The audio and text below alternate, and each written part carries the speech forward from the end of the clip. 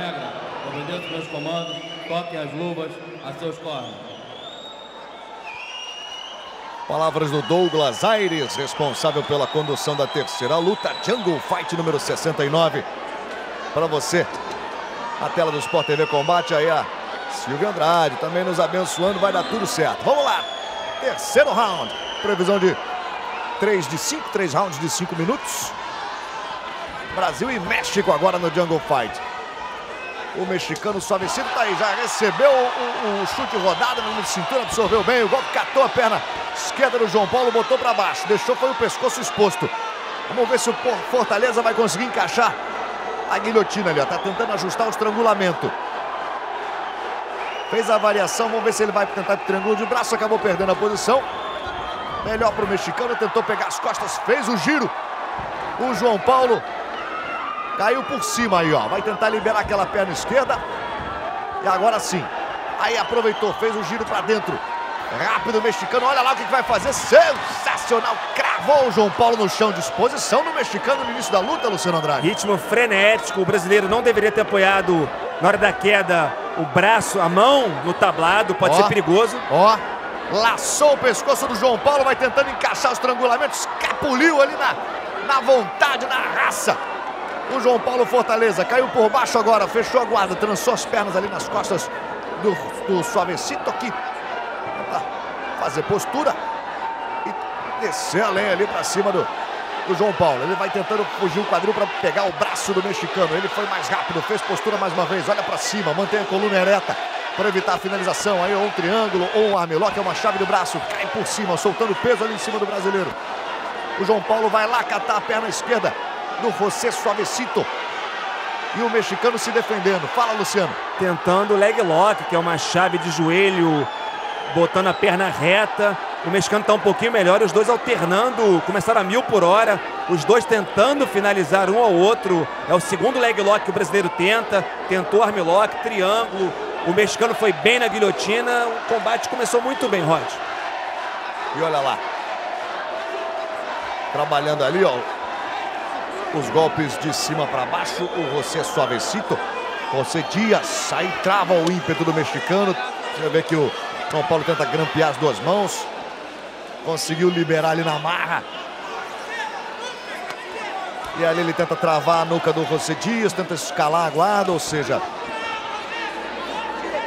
levantar essa, essas duas pernas trançadas aí. Ele mas já fez postura novamente, vai dando um sufoco, vai tomando um atraso no, no início da luta agora aí o, o João Paulo. Na verdade, no início não, da metade para o final do primeiro round, Luciano. Exatamente, agora os dois começaram muito acelerados, é, bem agressivos, partindo para o ataque.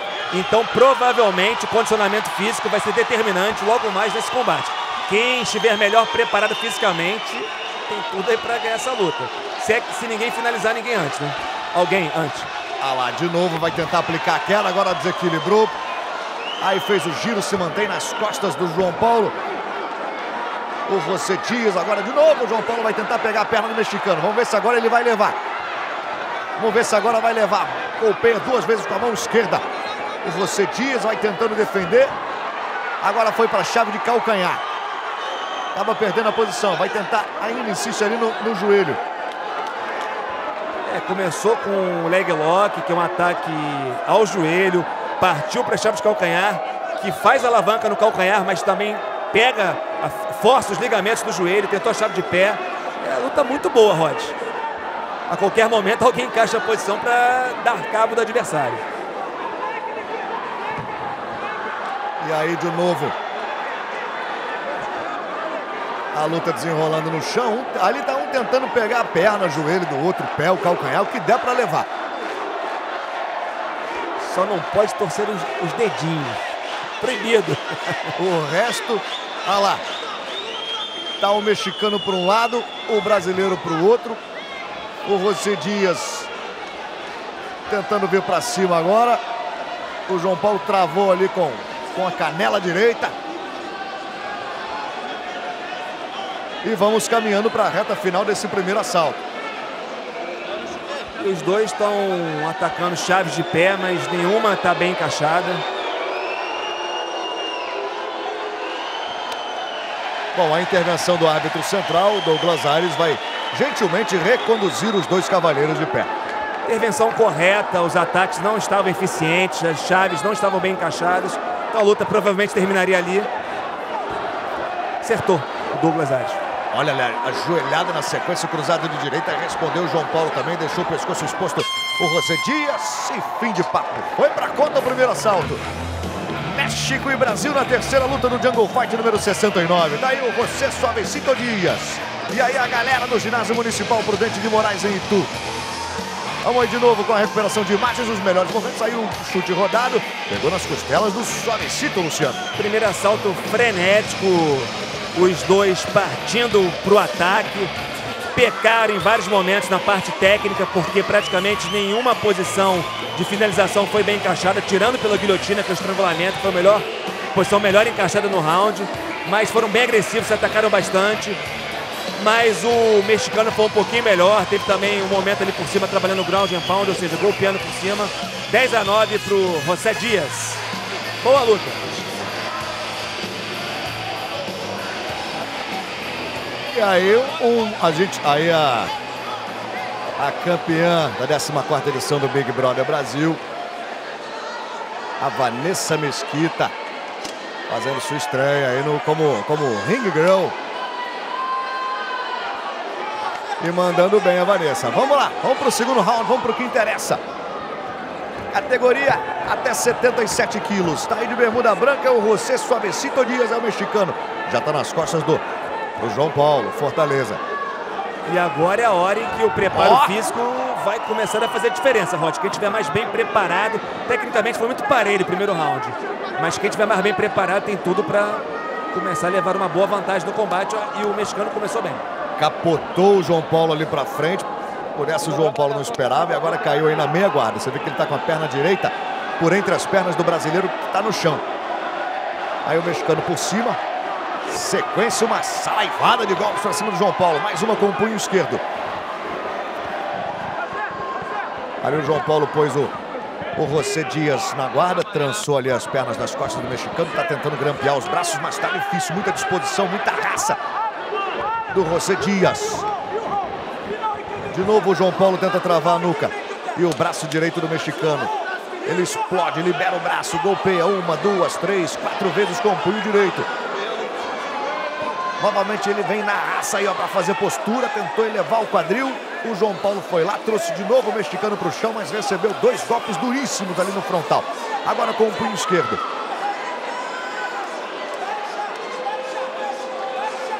Olha aí, fez postura e desceu a marreta mais uma vez. Vai capitalizando seus pontos aí o mexicano José Suavecito Dias. José Dias abriu uma boa vantagem, está conseguindo ficar aí por cima. O brasileiro Fortaleza parece sem gás para sair de baixo. Então vai trabalhando bem o grau de pound mexicano e pontuando. Grau de pound são os golpes traumáticos por cima, socos, cotoveladas, marretadas. Então, bom momento aí, bom round para o mexicano, Roger.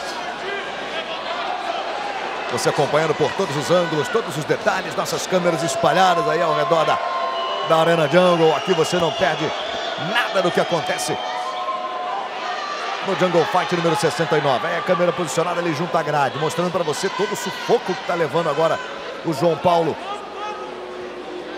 Vamos chegando aí na metade do segundo round, deixou o braço, tentou dar um bote no triângulo, foi mais rápido o mexicano mais uma vez. E aí já cai com a, com a guarda passada. Já vem tentando travar aquele braço direito, fez o giro João Paulo, tenta escapulir. Foi meio afoito agora para pegar as costas o José Dias, mas se mantém por ali, Luciano. Está bem cansado o brasileiro, perdeu o poder de reação. O mexicano está mais inteiro, vai dominando bem o segundo assalto. Então, o brasileiro passa a depender de algum bom momento em pé. Olha a guilhotina. Laçando o pescoço do João Paulo. Consegue escapulir mais uma vez, mas ficou na iminência da finalização ali o brasileiro. Cai por baixo e aí vai descendo a lenha mais uma vez o José Dias. Na verdade, se o mexicano conseguir um bom ângulo para golpear o brasileiro e der uma acelerada, apertar o passo, tá, pode até conseguir uma interrupção do árbitro. O brasileiro está bem cansado, Rod. Dá para ver ele pela, pela respiração dele, pela cara dele. Situação difícil do Fortaleza. Aí travou o braço direito, vai tentando travar o braço esquerdo também, uma posição chamada crucifixo. Olha lá, e vai golpeando com o punho esquerdo. Consegue liberar aquele braço direito ali por baixo o João Paulo. Se mantém por cima o José Dias, golpeando. Expôs o pescoço ali, mas o Dias não quis saber, veio para cima de novo. Olha lá, puxou o braço direito, que era o braço de apoio. E aí coloca novamente o João Paulo com, completamente ali, ó, esparramado no chão. Aí tentando entrar com, com o joelho esquerdo. E por sua vez, João Paulo tenta repor a guarda. Aí deu um pulinho pro lado de cá. Aí entoreando para tentar passar a guarda e conseguiu. A mão direita passou raspando ali a têmpora do João Paulo. Vai botando pressão para cima do brasileiro José Dias. Muita raça, muita vontade do mexicano. E não podia ser diferente. Temos aí já essa semana o UFC anunciou o The Ultimate Fighter América Latina com Caim Velasquez, o campeão peso pesado, e Fabrício Verdun, o brasileiro. Os dois vão disputar o cinturão na final do, do TUF, The Ultimate Fighter América Latina. O TUF, para quem não sabe, é o reality show do UFC. Olha aí, tô falando aqui. O José Dias já laça mais uma vez o pescoço do brasileiro, consegue se liberar da guilhotina o João Paulo, mas deixou mais da metade do, do gás, da resistência física ali na guilhotina. Vamos ver, 10 segundos para o final do segundo assalto. E aí, logicamente, tá de olho numa vaguinha nesse, nesse The Ultimate Fighter América Latina. O José Suavecito sente que o Jungle Fight 69 pode ser a, a porta da esperança para ele no UFC, Luciano. E o mexicano teve uma boa vantagem no segundo round. A meu ver, não chegou a ser tão grande a ponto de ganhar um 10 a 8, mas 10 a 9 tranquilo para ele. Ficou muito tempo por cima trabalhando ground and pound, tá mais inteiro. Isso foi crucial para essa vantagem dele no round. E o tempo inteiro ali no cantinho a gente viu o brasileiro Kleber Luciano instruindo o seu aluno, o José Dias, em inglês, até porque o Dias é mexicano, mas mora nos Estados Unidos e o brasileiro dá aulas de jiu-jitsu nos Estados Unidos. Esse aí no cantinho da tela, cantinho esquerdo. Vitória tranquila do mexicano no segundo round, abrindo dois pontos na minha contagem.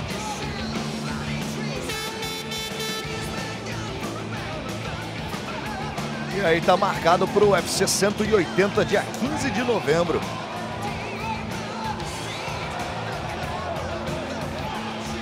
A luta entre o, o Caim Velasquez e o Fabrício Verdun, as finais do The Ultimate Fighter América Latina. Para mais informações, acesse a página do Sport TV e também do canal Combate na internet. Olha aí nossa câmera sobrevoando.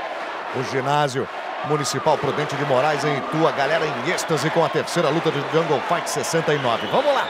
Mais cinco minutos de emoção e adrenalina para você ligado na dobradinha campeão Sport TV Combate. Ligado e ligado com a gente. Bermuda branca para o José Dias. O Suavecito. É Brasil e México. Na terceira luta do Jungle 69.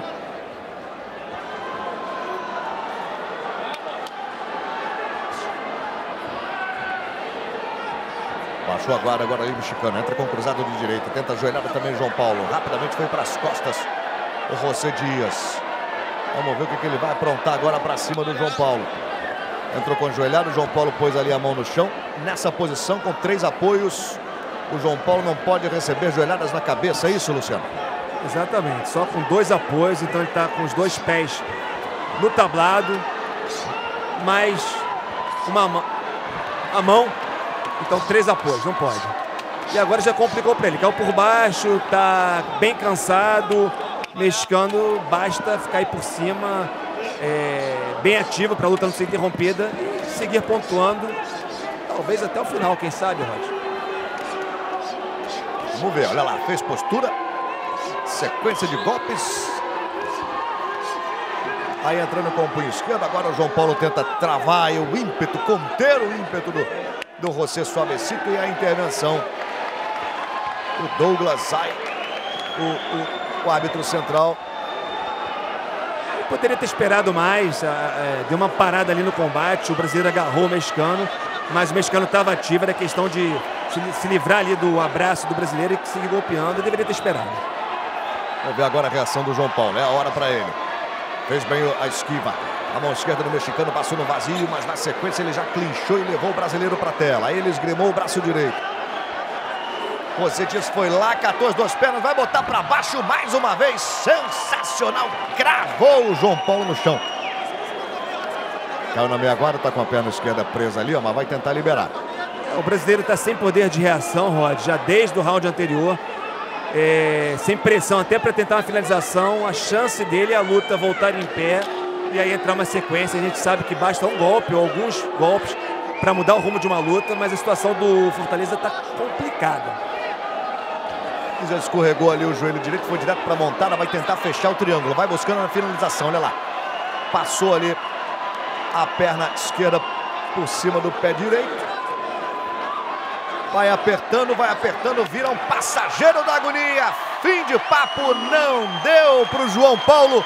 Uma vitória com V maiúscula do Brasil. Ou melhor, do mexicano José Suavecito Dias.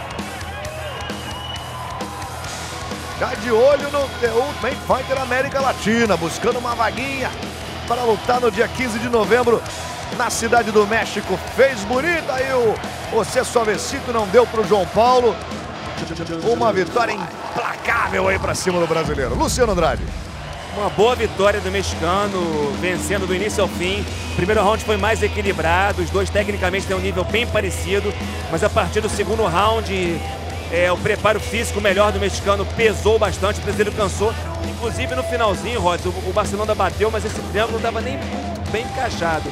É que na verdade já estava morto.